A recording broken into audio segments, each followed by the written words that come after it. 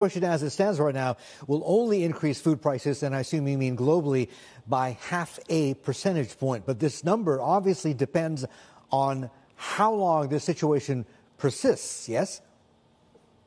Exactly. So 1 million metric tons increase 0.5% on world food market prices.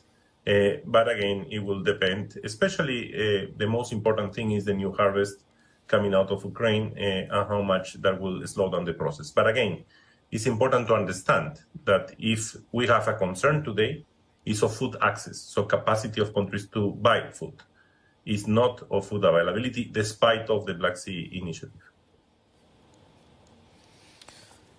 Maximo, so this has been the grain deal has been hailed as a triumph of di- diplomacy. This is an internationally brokered deal. So, does Russia have any legal right to really suspend its participation? And can Russia be legally compelled through the framework to uh, participate and reactivate uh, the deal?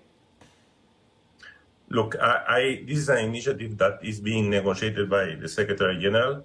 So I don't want to get into the legal yes. issues because that's not our expertise. Our, our, expertise is on the on the numbers and availability of grain uh, right now, and that's basically what I am referring to. I understand. Uh, as I understand today, uh, the discussions with all the parties are already going on, uh, and I hope this will lead to again to a, a renewal of, of this agreement and to continue the mobility of vessels. Even inspections continue to go on at this point.